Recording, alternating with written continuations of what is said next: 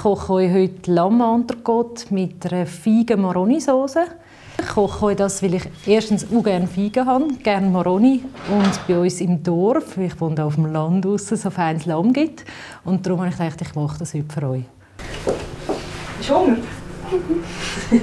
Das ist eigentlich so eine Mischung zwischen zwei Sachen. Ich habe mal ein Rezept für eine Feigensauce gesucht auf dem Internet und habe etwas gefunden von Reh mit Feigensauce und habe das dann einfach abgewandelt. Die Maroni sind dazugekommen, weil meine Tochter so gerne Maroni hat.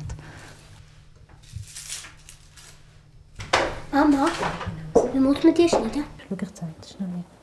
Und dann kannst du hier hin und dann kannst du so eins nach dem anderen.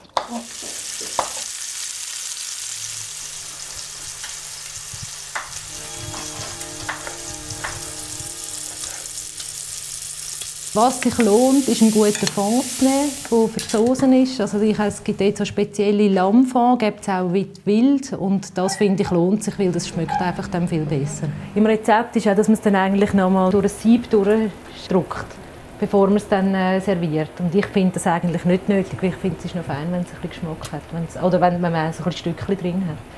Ich nehme da Maroni, die es bei uns in der Metzgerei gibt. Das sind so frisch eingelegte, die schon gekocht sind und die so wie eine karamellisierte Soße. Es gibt die gleichen, aber auch ähm, so in Vakuum verpackt. Im Mikro oder Coop habe ich die auch schon gesehen. Und das wäre es dann schon. Also relativ schnelle Sache. Gut. Gut miteinander. Fein sieht das aus.